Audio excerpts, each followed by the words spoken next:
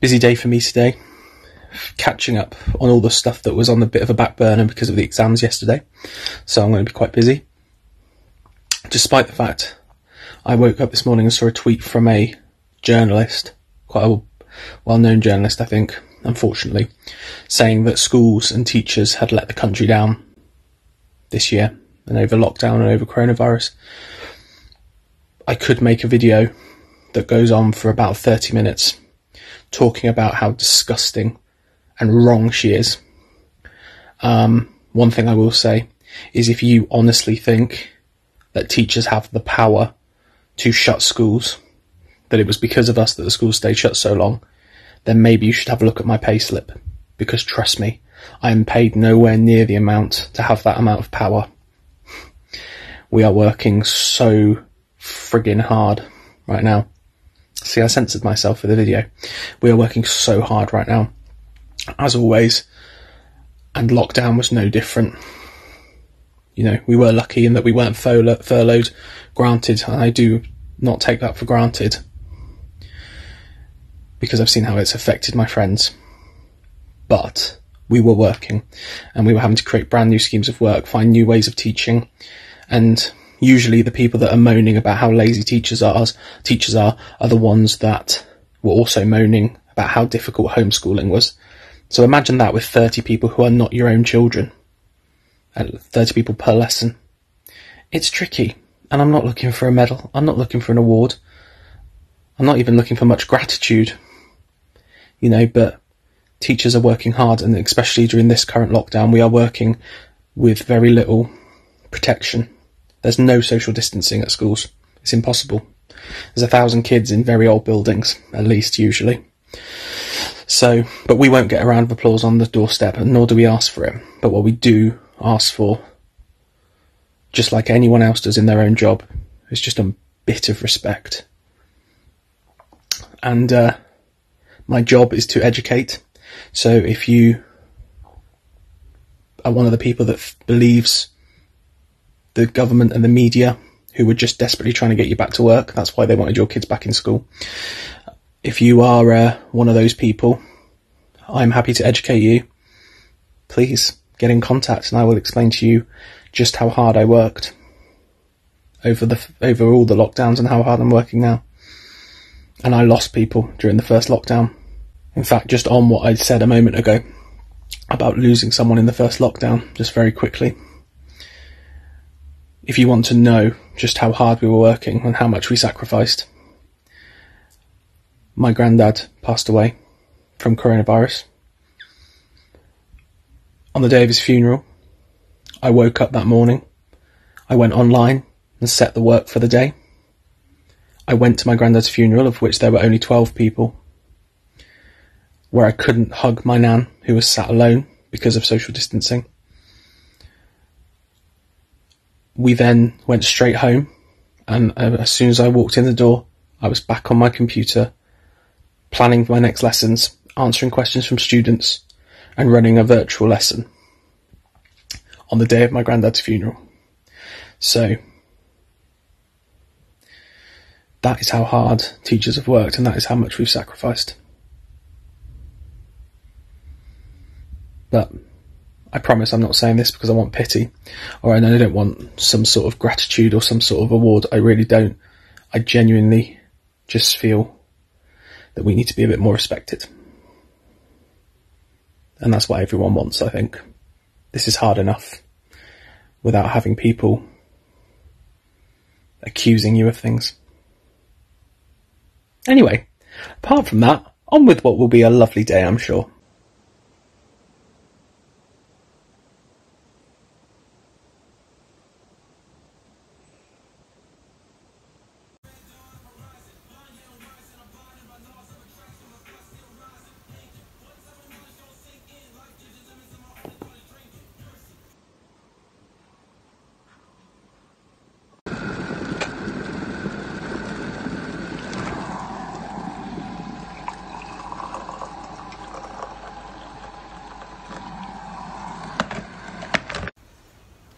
So I have to be really quiet because I'm pretending that I don't exist. But the plumber's downstairs So yeah, they finally showed up. So I think we still got to do some more bits with this because obviously you can see where the old fire was. It's a bit minging. Um, they are coming back tomorrow to grout the to grout the shower. Um, oh, Kizzy's trying to trip me up. That's nice of her. Um, oh, you like it?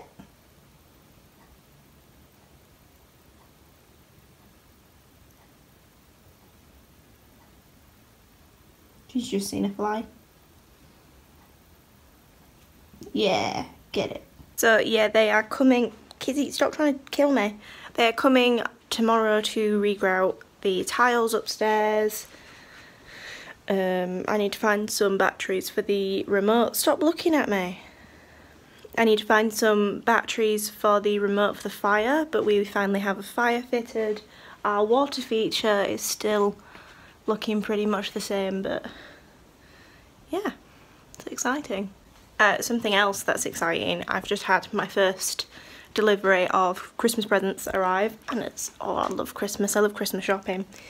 Um, so we've had like quite a lot of births this year. So I've got a, a new niece and two new second cousins. Um, yeah, so like what do you get a, a brand new baby for Christmas? It, yeah, so we always go for like keepsake type stuff. So we've decided to get the babies like Christmas baubles this year. And it's just arrived and it's really cute. I was a bit concerned when it came and it was like paper thin, but I think that's lovely.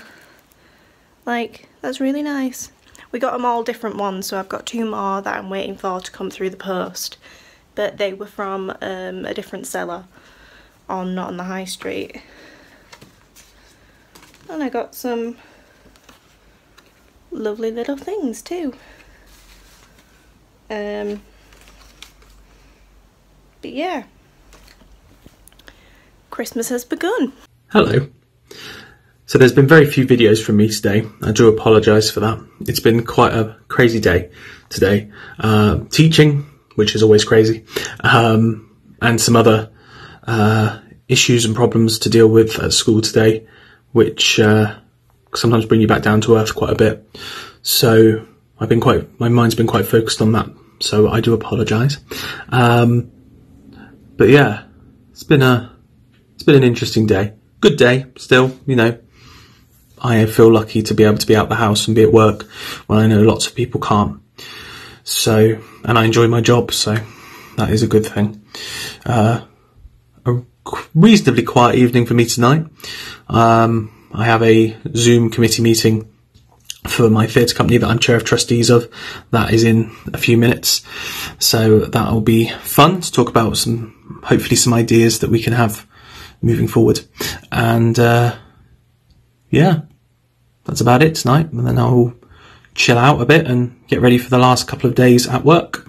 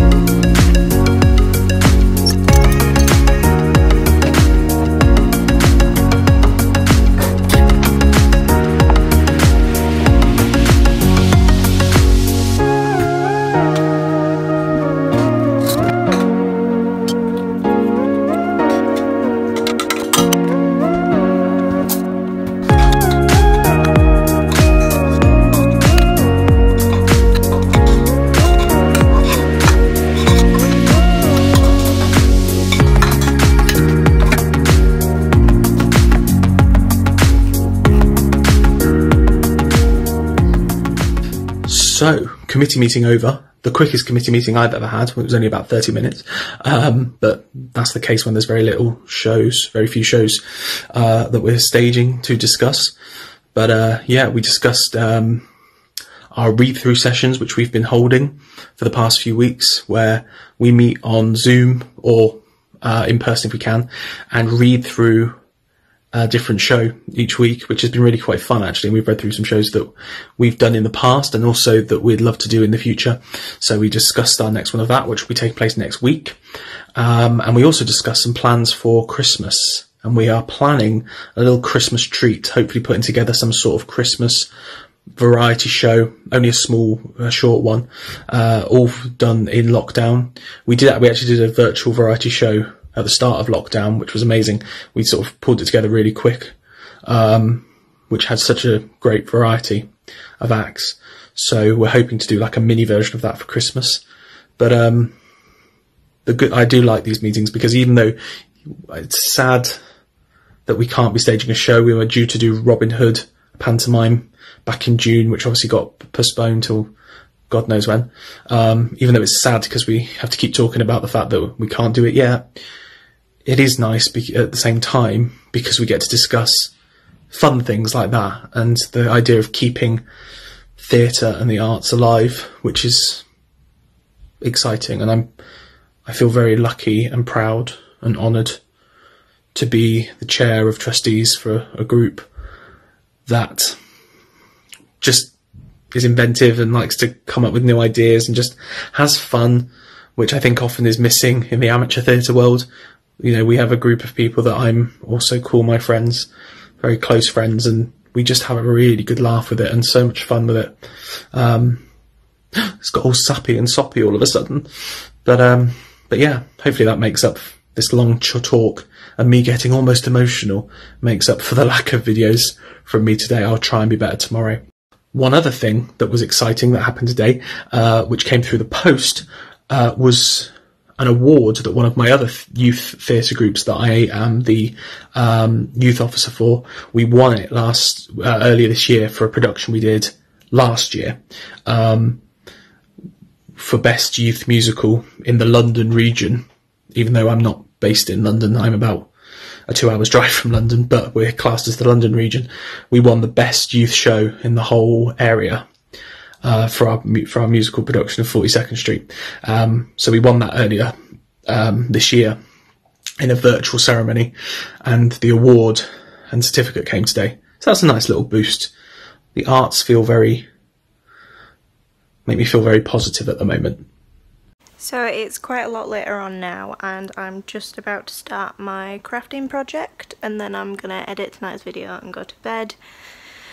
Um, so I've bought, these are all like beads, little glass beads. I've got some more pearly ones here and some wire. Everything showed up today. Um, I'm going to be making the to go with the gift tags for Christmas. So the first letter of everybody's name, I'm going to make that, shape it out of wire and then add beads onto it, just sort of dangle off the present to make it look fancy. Yeah, there's no real reason why to do why I'm doing this other than I've got a lot of time on my hands and I enjoy craft projects. So let's get started.